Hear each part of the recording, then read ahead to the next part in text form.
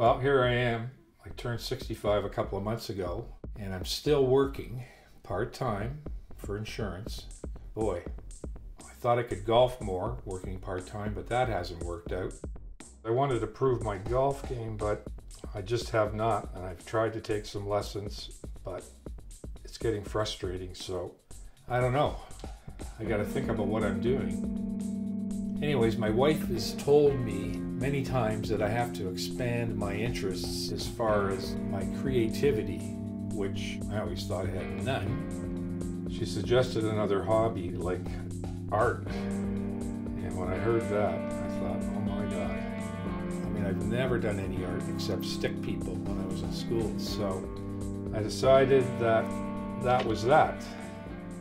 But that all changed, really, when I think of it, when I met Ted.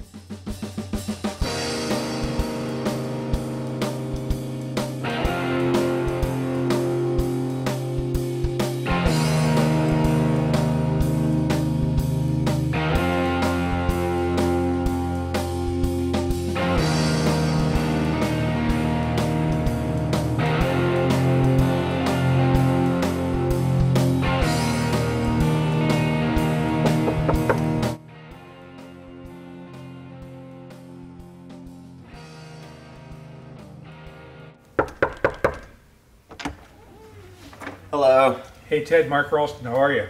Nice to meet you. Come on in. Okay.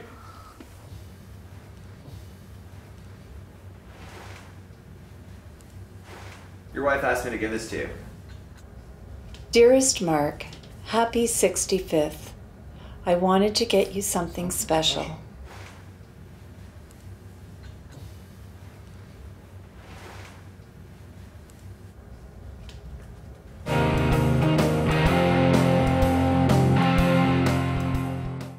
Okay, Ted, so you told me that uh, what really got you sort of involved in art is that you were doodling in your school book. Tell me the story about what happened there. Well, I used to really enjoy art classes and stuff when I was younger. One time when I was doodling in class, a teacher came over. I think that she was going to get me in trouble for the fact that I wasn't listening. But she saw what I was doing and she liked it. And then um, what ended up happening was she told my parents about it and ended up sending me to private art lessons. And then everything Really? kind of evolved from there. One of the things I thought I had to do when I think I was in school was tracing. So trace, say, a Volkswagen Beetle as opposed to try to draw it. So is tracing, is that a, a wrong thing to do? You've probably seen those photorealistic paintings before. Those are traced. Like oh. what they do is they start off by projecting an image onto like a canvas. They trace the projected thing very linear, and they draw a grid on top of it. Then they go into each individual square and they work on each square for like hours and hours and hours at a time to get it to that point where it's like super realistic and you can see the pores in the skin. Then they go on to the next square, then the next square, then the next square. Then they touch up the whole thing. What I'd suggest is while you're learning, tracing is a great way to sort of learn the forms. Like, actually, what I'd suggest is try tracing a car and then put away that drawing and then try doing it freehand. So how long did it take you to do the picture of Jack Nicklaus? Definitely took me a long time. Like, I usually paint for about three to six hours at a time. So I was just trying to figure out how many sessions I did it in. Probably 20 hours, maybe more. So drawing has and painting has become a big part of your life. Is there any time in your life that it sort of helped you in any way, any event in your life that you sort of used art to to help you get through a period in your life? Well, yeah, in 2016, um, I was diagnosed with colorectal cancer, and um, and while I was on chemotherapy, I was using art mostly in order to deal with it. I could use art not as a reason to to survive, but as like a reason to really live, and I could carry that on into my life, like beyond my cancer experience. Hmm.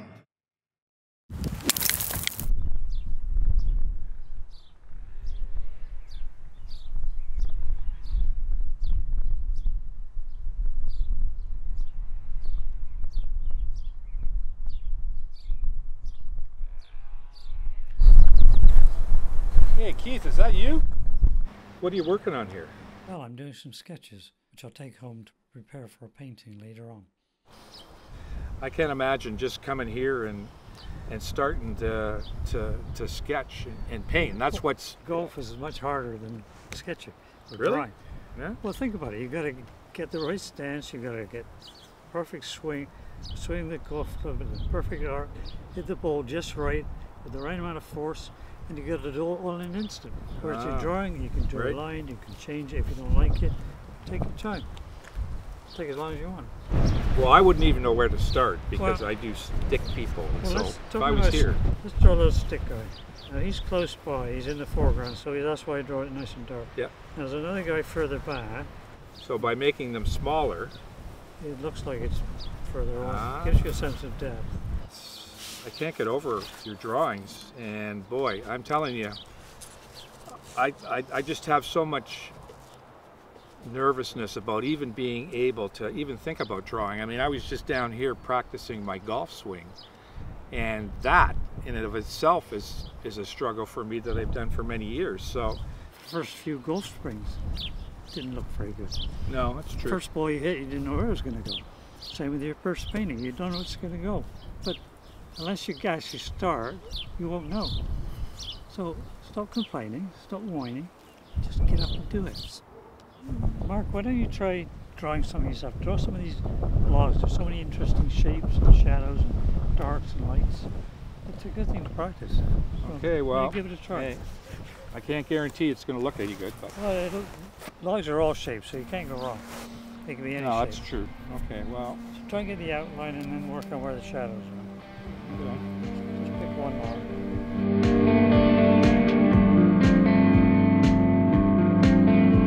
Got to go see Keith again for an important lesson. Keith said he has something to show me today. Hmm.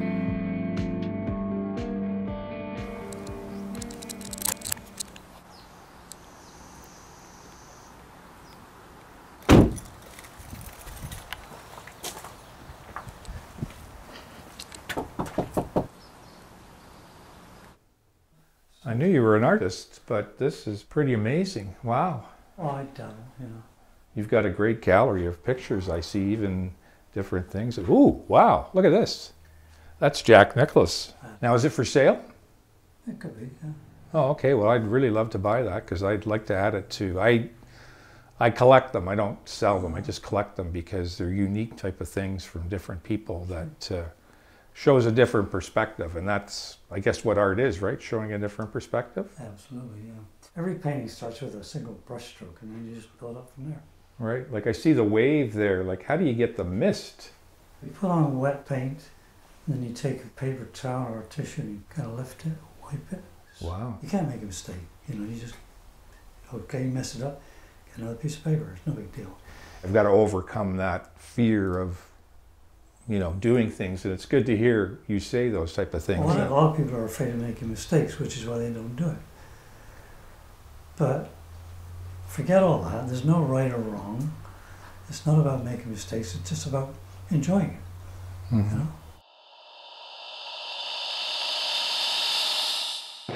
When I was a child, I was always drawing and painting. But as I got older, life got busy working and raising a family. And I didn't do anything artistic for a long time. Then, at the age of 63, when I was very active, cycling and running, I had a near fatal bicycle accident. I was in hospital for six weeks, and when I came home, I was in a pretty bad place mentally. Couldn't do much, so I needed to find ways to keep busy. And I started drawing and painting again. This gave me a new lease on life.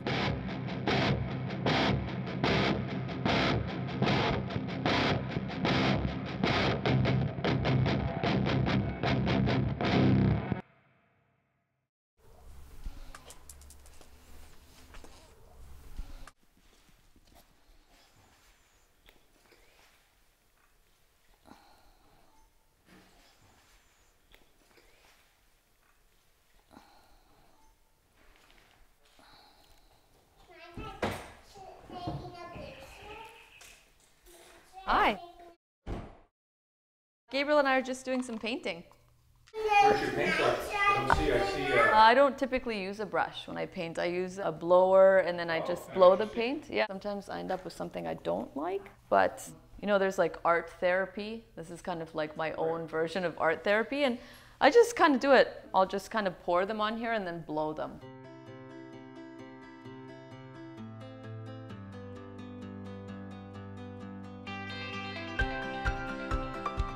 Have an idea, like a rough idea in your mind of where, kind of where you want to end up. It's like a mixing kind of effect.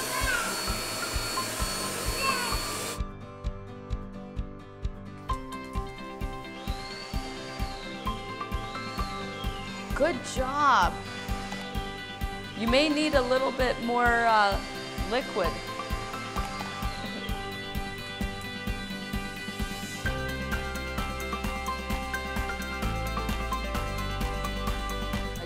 Like paint and then later on I'm like, ooh, I can do something else. And that's why I find it very freeing.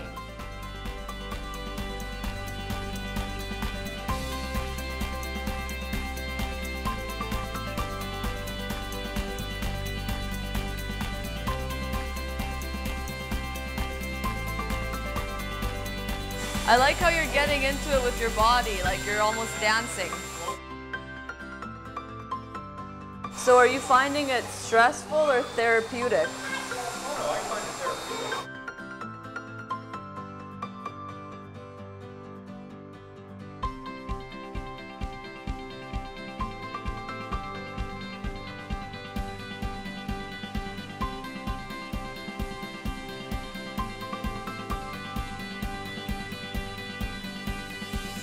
Yeah, that looks really cool.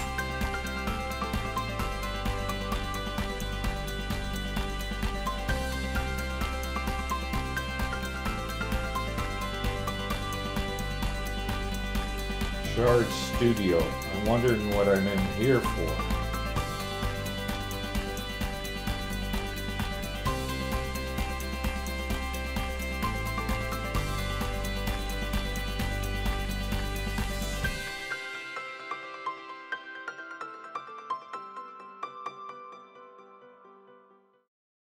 Hello. Oh, Hi, I'm Mark. hi, Mark. Nice to meet you. Nice to meet you too. A friend of mine, Keith Cains, gave me your business card, Oh, suggested I that's come and see you. Nice to meet you, Mark.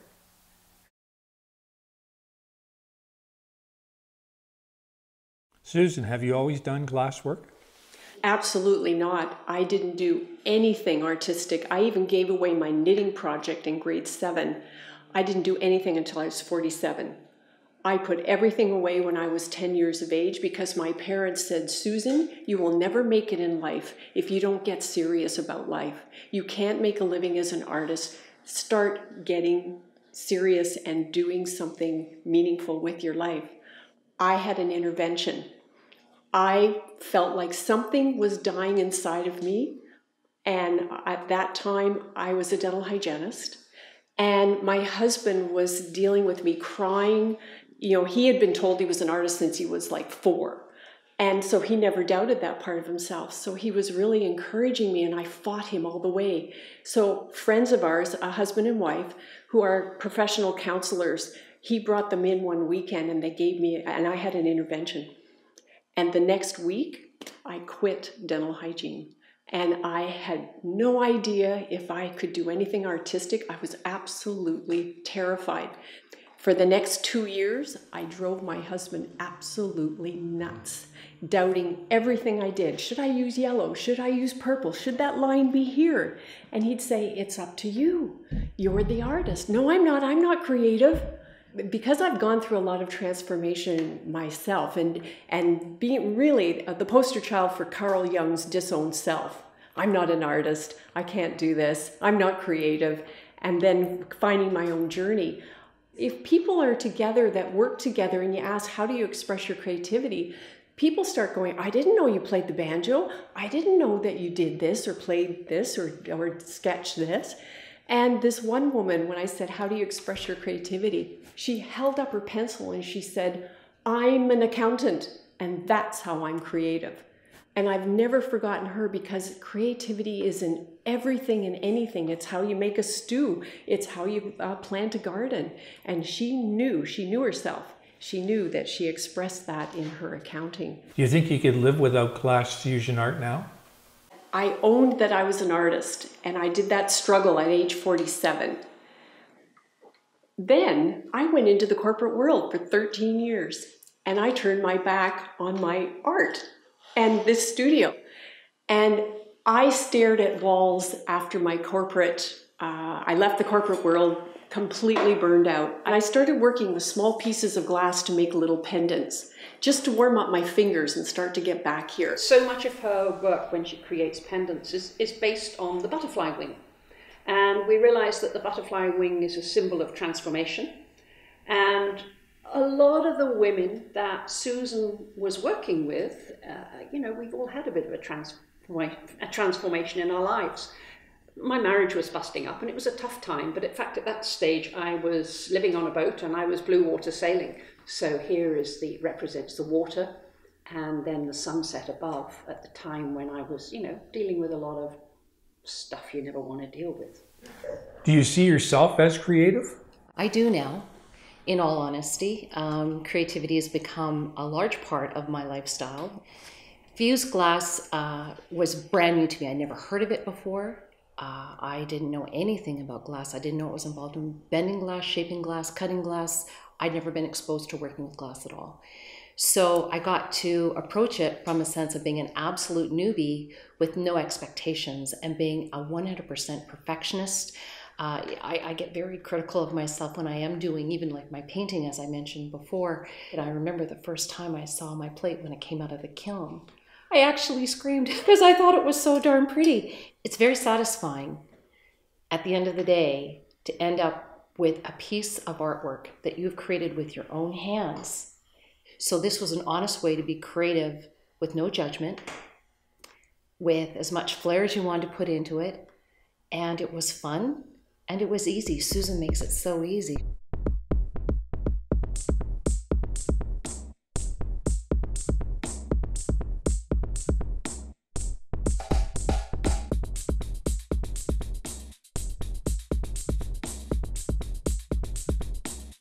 That's a golf ball, by the way.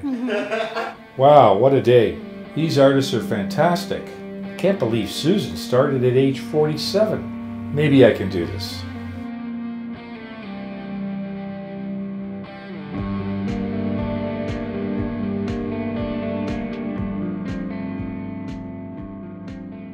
Okay, Keith said I should visit Odette's gallery next.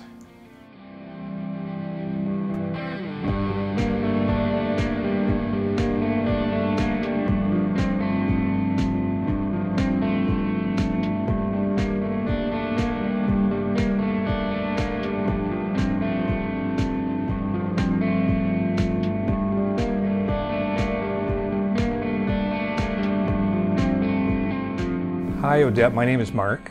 Hi, Mark. How are you? Nice to meet you. Nice to meet Uh, you. a friend of mine, Keith Cains, gave me your business card and sent me here to meet another inspirational artist. Oh, well, that's nice of him to say that.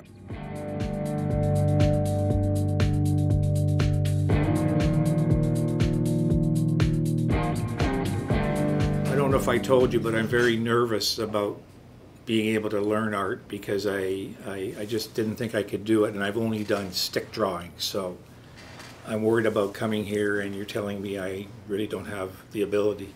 I have a lot of failures. I, I, would you like to see my basement with the paintings that I'm going to throw out? Mm-hmm. Everybody does. And speaking of that, I had a teacher in uh, art school who, he, one of his exercises to, he would give us was to paint as a child, to draw as a child. He says you have to learn to draw and paint as a child, and then be, become a, a, better artist. Like I'll give you this example: uh, a child would draw a table instead of in perspective with the legs going straight down. The legs of the table would be flayed out as if it like fell on its face, you know that sort of thing. And he encouraged that so that we could get a feel of it and then go into you know developing our art. Your students are they always open to being creative when they first come to see you? Most of the people that i have have never painted before. Yeah and so they, they just develop as as they go along and i just kind of gently help them along with whatever little bit that they need so if you had a goal what is your goal i'd like to paint golf courses and golf holes. Okay, if that's what you like to do, bring in some photos because that's when the painting comes out the best when it's something you're interested in.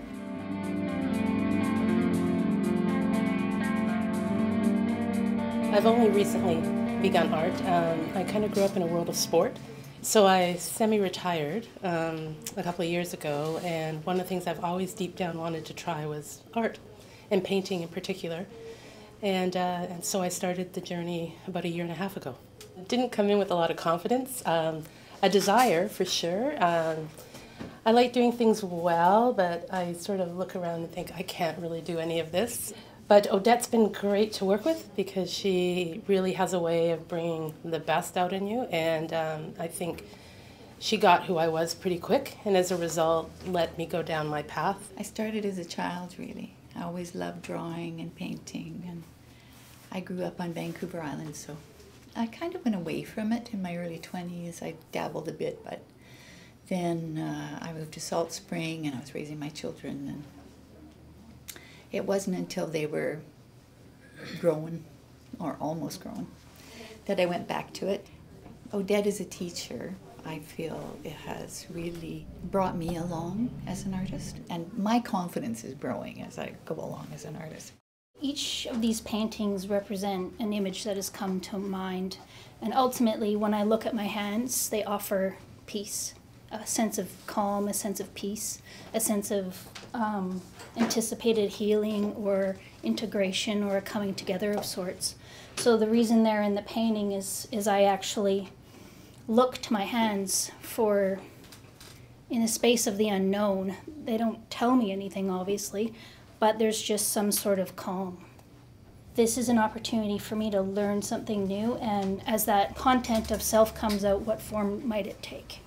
I learned the Chinese calligraph uh, since I was a child uh, as a hobby. Um, I often enjoy Chinese paintings and sometimes I try uh, to print Chinese paintings. This is how to use the color and uh, how to make the new color, right. the different color, how to make. Wow. And uh, these three pictures only use oh, two color. Just two colors? Yeah, just two color. And this one is use uh, purple and yellow, two color. Make this one. I tend to be a perfectionist. And through the years, I think I got very discouraged by art because it had to be perfect. These ones I have uh, worked on in Odette's studio using a palette knife and just kind of having fun with it, not getting hung up on minor details. So, Tom, what is a palette knife? I don't understand that.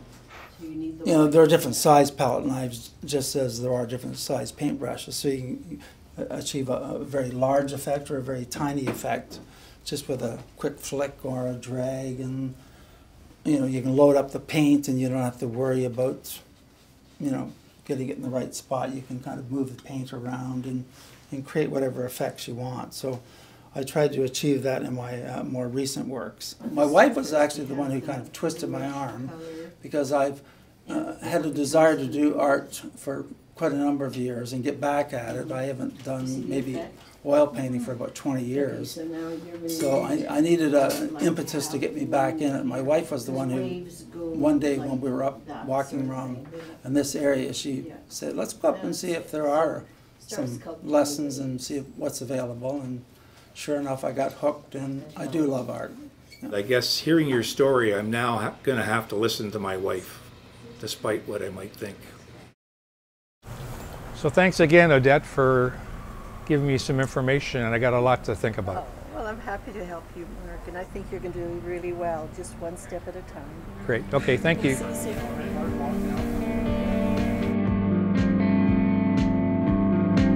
Well, what a journey. I've finally been able to look into art and understand it and realize that maybe it's not as difficult as I thought it would be.